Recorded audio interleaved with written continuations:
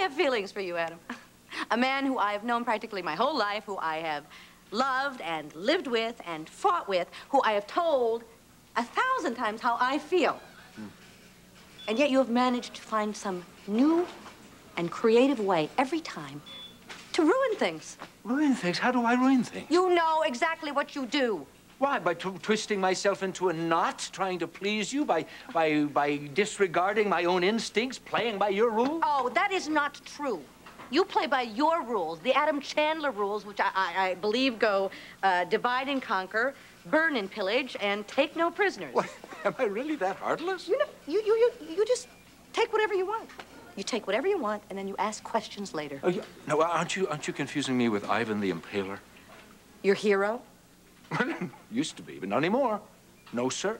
In the past, yes, perhaps my ethics were not 100% honorable, and my integrity was somewhat open to question. Perhaps in the past. But I'm different. I've changed now. I'm the new, improved, softer, gentler Ivan the Impaler, sort of Ivan the Impatient.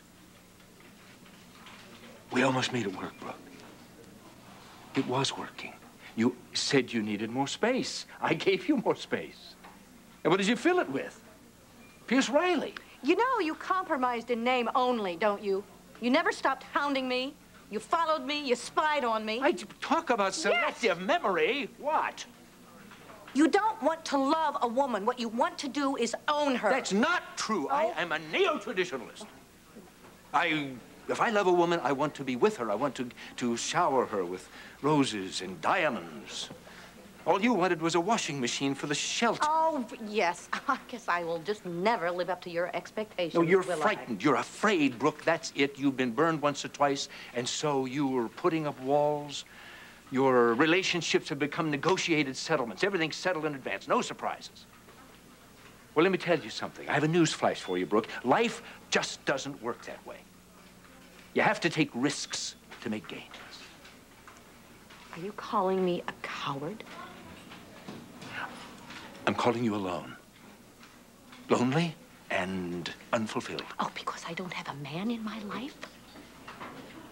Because I am not joined at the hip in some lockstep with some arrogant, testosterone-overloaded dictator? I am so...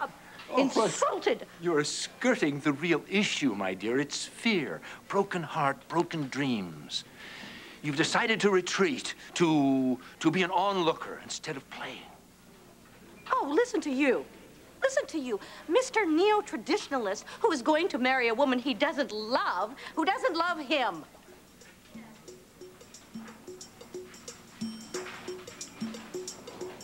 I'm sorry if that was below the belt, and I guess I should apologize. No, no, no. It's, it's, it's quite understandable. You're right on target as usual.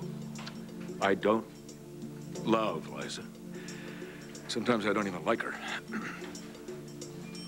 Why marry her then? Why, Adam? You don't know. You honestly don't know.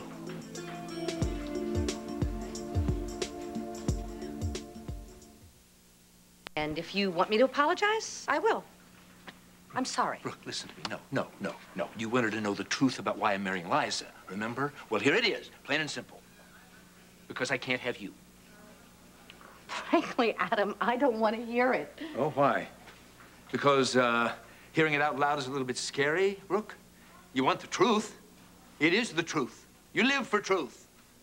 You pursue it, you print it, you protect people's right to read it. Well, this is the truth. I don't want to live my life alone. I want to have a woman to share my home and my life and my bed. I said I don't want to hear it. Well, you're going to hear it anyway, like it or not. Liza is an attractive woman. She's fun to talk to, easy to talk to. She's charming, she's clever, she's smart. Not as smart as you, but I really do have a good time talking with her. She's witty, never fails to send the ball right back into my court, sometimes with surprising wallop. Not as hard as yours, but impressive. The only problem is, as you so sagely pointed out, I don't happen to love her. The problem is I've loved only one woman in my life, and I've loved her since the first moment Stop I... it! Brooke, don't let fear run your life. Admit it. You want me. Just as much as I want you.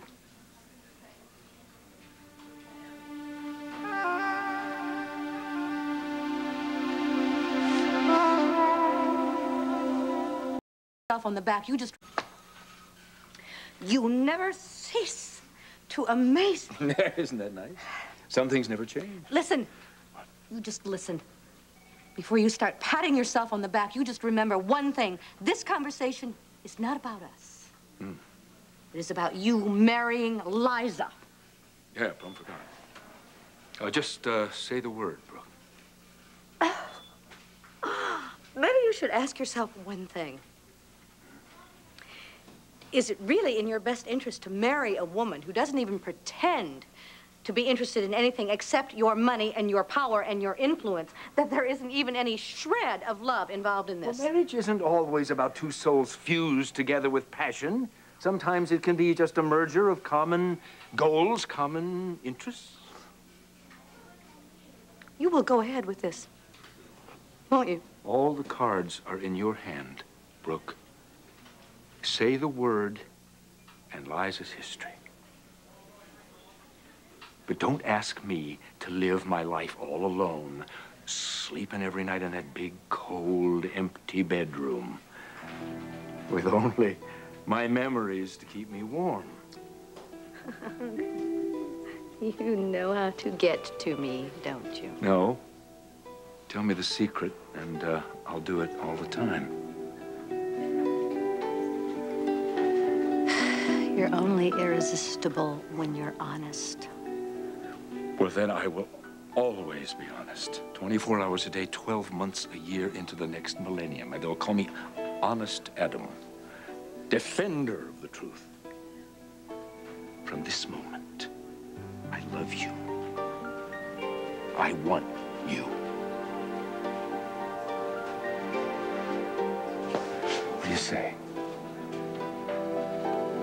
How about a whole new beginning? Fresh slate. Brand new start.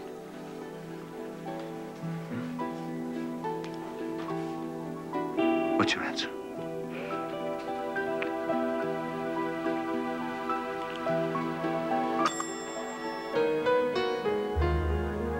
What scares me the most?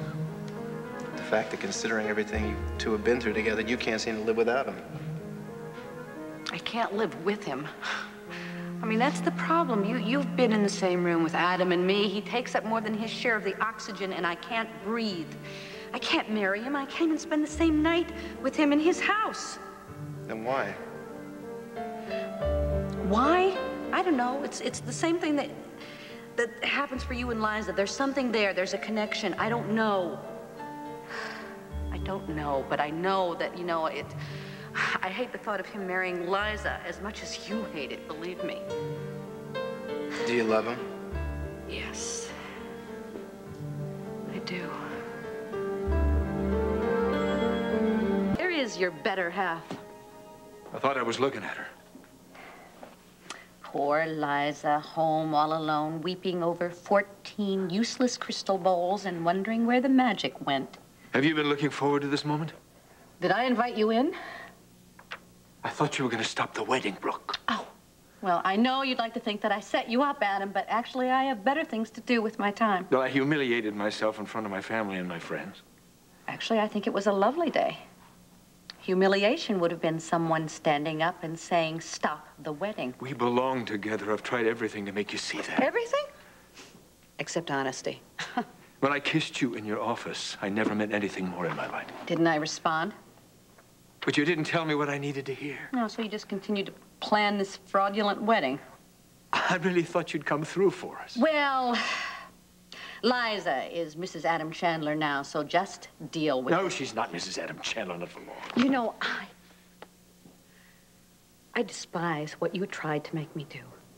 I tried to make you get off the fence. By casting me in some ego-massaging fantasy for everybody to see? You needed a soul-searching wake-up call, would, Brooke. Why would I do that?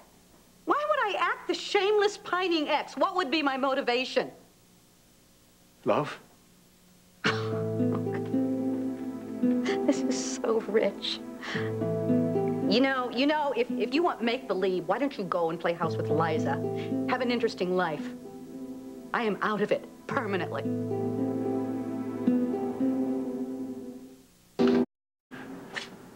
You have. That morning that rumpled Liza took that victory lap around your living room, staged.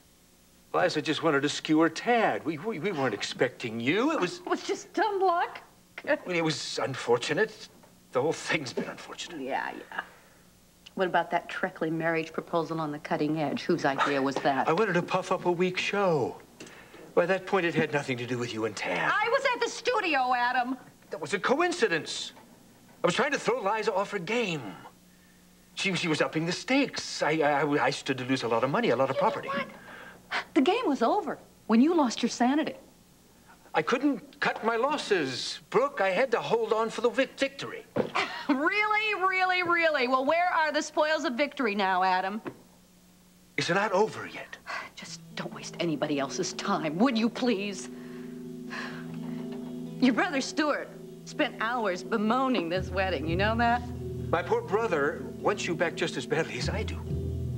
Did he want me back enough to, to push forward a plan to thwart you and Liza? When he wanted out, I didn't argue. No, you didn't. You took his place. That's what a great guy you are. You're so generous, aren't you?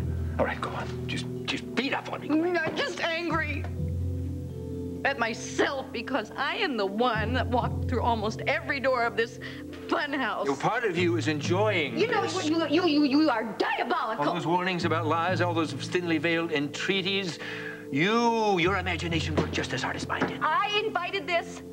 Yes, you did. Well, why can't I love you without going beyond the bend? I'll tell you why. Because you and I egg each other on. That's why. Because I should be able to love you without, without losing my mind. But I need a little cooperation, Brooke. Come on now. Just, just- if we work together, we can have it all.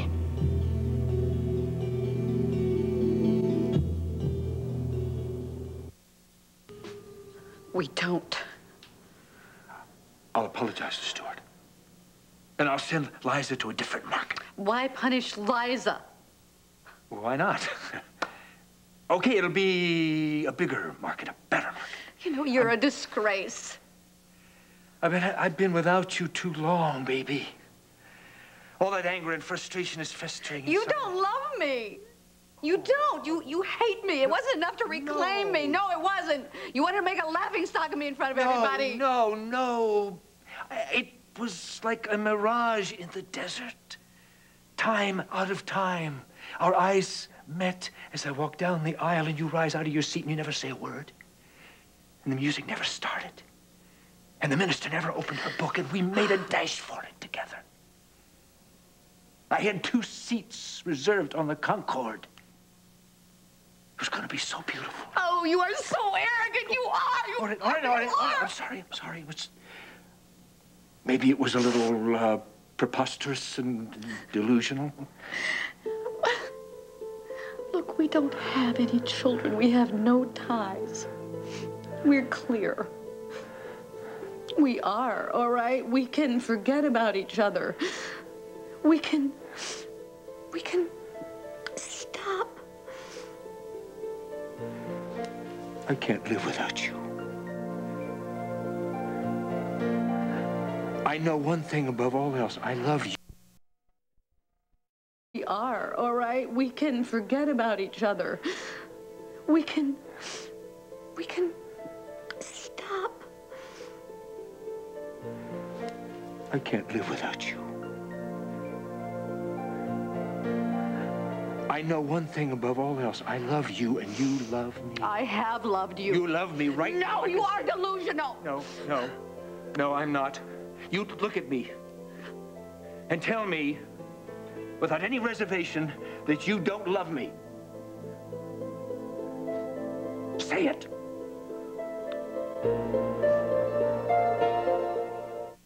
love you. I will not love you. No, no, no, no, no. Have you heard one word that I've said? Yes, yes. Every accusation, every protest. I'm tired. I'm exhausted. Well, fine. We'll take a little time. What? To, what? To, so we can rest up for for another takeover? What are you going to do? How are you going to try and reacquire me the next time? Ah, you're not a possession to me. You have shown com- companies you've liquidated more respect than you have shown me.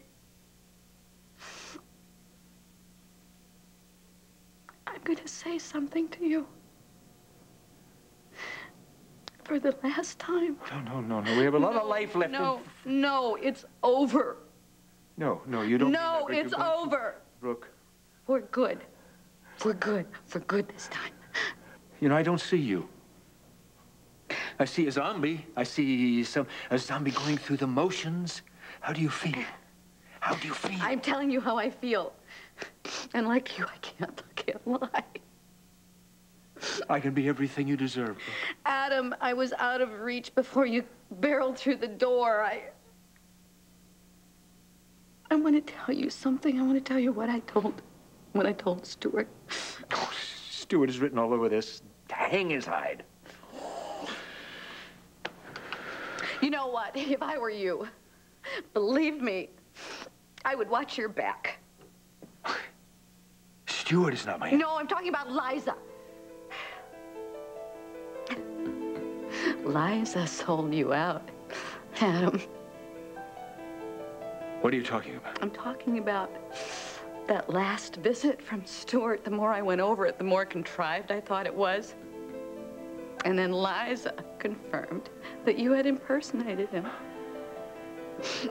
You asked her? I didn't have to ask her. She's working an angle. Adam, I think you've finally met your match.